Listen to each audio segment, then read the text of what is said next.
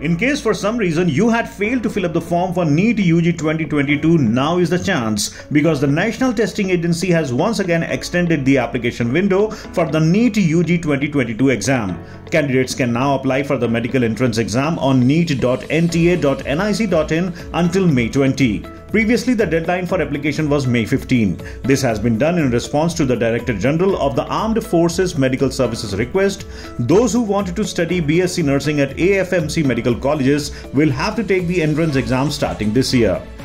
So this time, don't let the chance go away and visit neet.nta.nic.in for filling up the NEET UG 2022 form.